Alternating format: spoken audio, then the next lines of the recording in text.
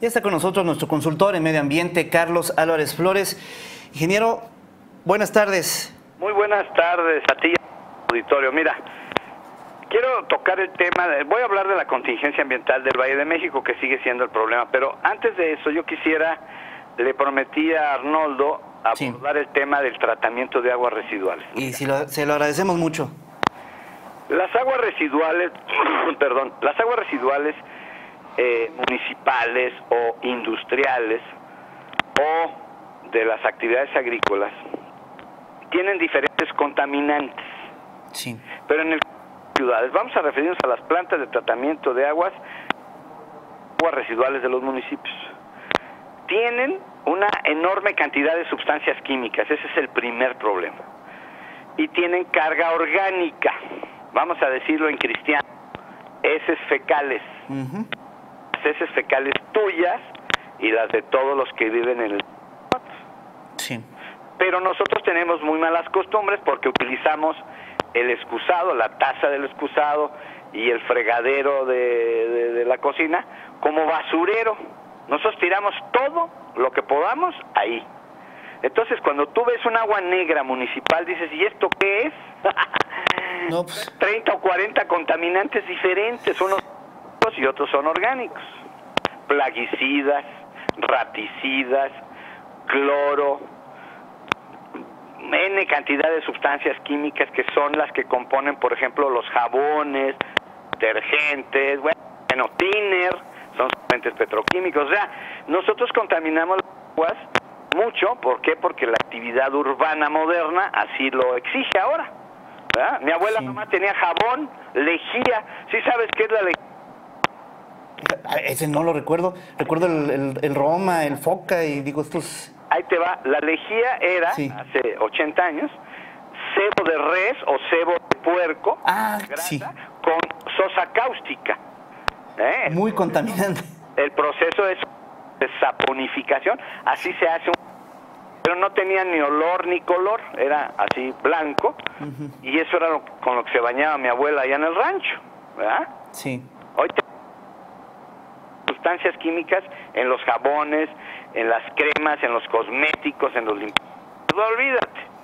Entonces, las aguas residuales hoy de un ayuntamiento, de una ciudad, son muy complicadas para tratarlas.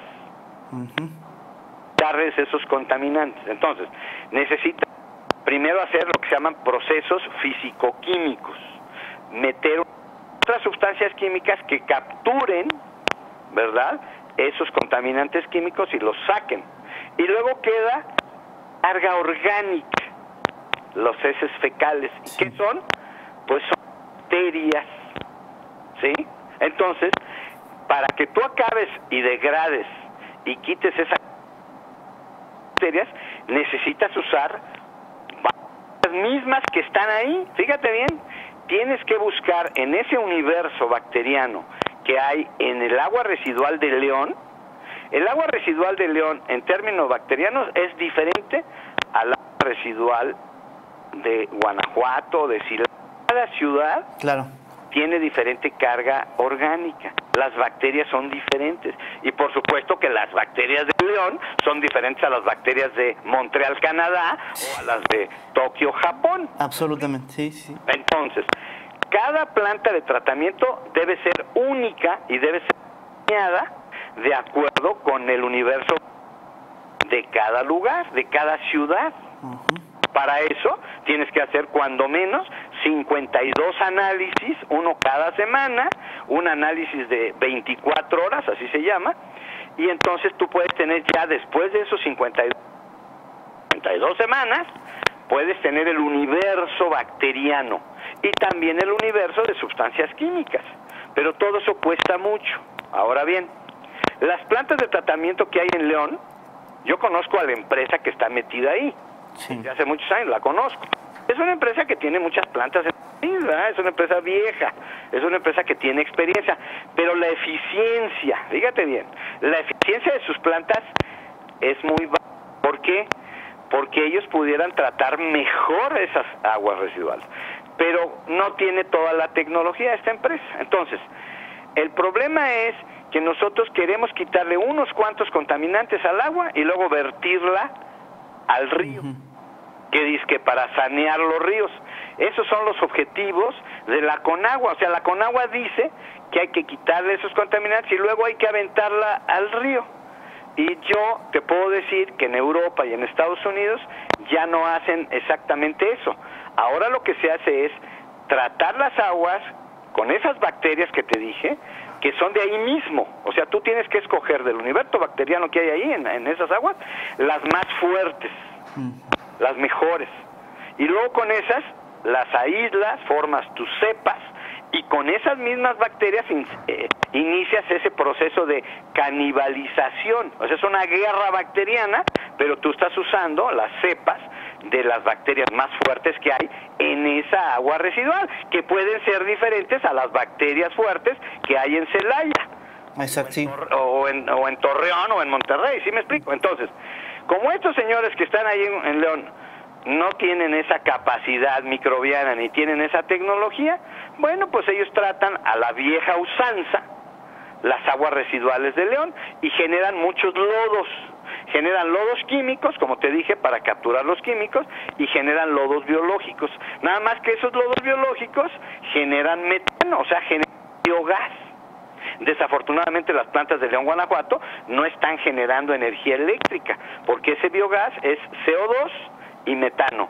Si tú separas el CO2 y dejas el metano y lo quemas, puedes calentar agua, puedes poner una pequeña eh, caldera y puedes generar en un microgenerador, un pequeño generador, puedes generar energía eléctrica. Pero eso cuesta.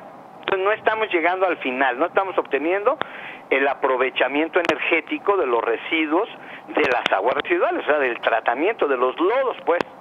Correcto, Carlos. Perdón, ahora, ¿qué decir de una problemática muy concreta que tiene que ver con las aguas residuales de la industria curtidora? Bueno, se les planteó en el 98 y se les dijo, yo estuve allá, sí. se les dijo, a ver señores, ustedes pueden hacer su solución. O sea, el tema de los curtidores es un tema muy particular. Ellos ciertos contaminantes. ¿Por qué? Porque ellos utilizan un grupo de sustancias químicas muy conocidas que se pueden reciclar. Pero los curtidores digan, no, nosotros no tenemos dinero. ¿Cómo creen que vamos a tener dinero para hacer todo eso?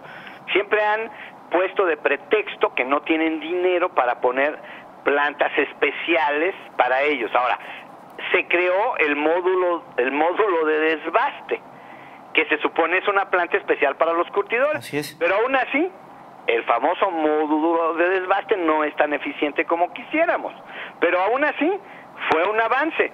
El problema es que todavía hay como 80 o 100 curtidores que siguen virtiendo todo su mugrero al río Turbio y después abajo, aguas abajo, ¿verdad? Porque eso se va a Lerma y luego se va hasta Chapala y luego se va al Océano Pacífico.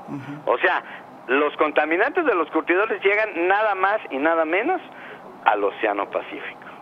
Ah, o sea, digo, ¿cómo? Pues sí, eso es México.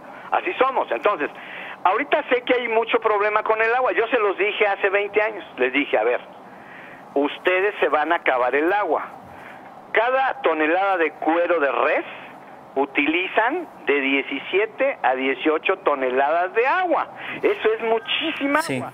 Entonces, este, eh, entonces el problema, el problema es que no han querido reciclar el agua. Ese es el tema. Nosotros debemos tratar las aguas residuales para reciclarlas, no solamente para quitarle un poquito de contaminación, sino quitarle todos los contaminantes, tanto orgánicos como sustancias químicas para reutilizarla, o sea, regresarla al mismo sistema de agua potable del león. ¿Me explico? Eso no lo está haciendo el sistema Zapal. Zapal, como te dije, cobra, sí, qué bueno, tiene plantas que no son eficientes, no importa, pero no estamos reciclando. ¿Qué hace falta? Es muy fácil. Hay que poner otra etapa adelante de las plantas que está ahorita tratando poner otra sección que es cara para entonces quitarle la totalidad de los contaminantes químicos y de carga orgánica y regresar al sistema de agua potable. Y eso es lo que tendrían que hacer los curtidores, pero no lo han querido hacer con el pretexto, repito, de que no tienen dinero, de que es muy caro, no, pues es más caro que estén cerrando curtidores porque no son competitivos ya a nivel mundial. Aparte de que se están acabando el agua. Bueno, ya se acabó el agua. Me están diciendo que van a abrir otros pozos que le van a pedir permiso a la Comisión Nacional del Agua para abrir más pozos, porque como no se puede entrar el agua de Jalisco en el proyecto ese de, ¿cómo se llama el, proyecto de agua de Jalisco? Eh, la presa el, la presa el Zapotillo, perdón. El Zapotillo, ¿verdad? Quieren robarse el agua de Jalisco a los curtidores para que sigan curtiendo. O para los habitantes de León, no. El tema es que cada quien se tiene que rascar con sus uñas y cada municipio y cada región tiene que reciclar su agua.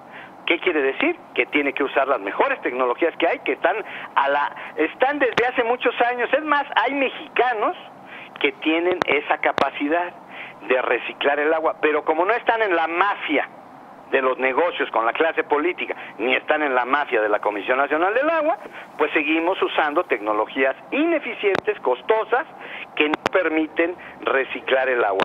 Ya lo vamos a dejar hasta aquí, ya seguiremos abordando lo demás, hay mucho de qué hablar, pero vamos a dejarlo hasta aquí el día de muy buenas tardes a ti y a todo tu auditorio. No, gracias a ti, Carlos, por compartirnos esta reflexión. Es un tema muy amplio, el destino nos está alcanzando y León se está evidentemente quedando sin agua desafortunadamente por no prever esta reutilización eficiente de este recurso natural que prácticamente hace crisis no solamente en León, en varias partes del país. Es correcto.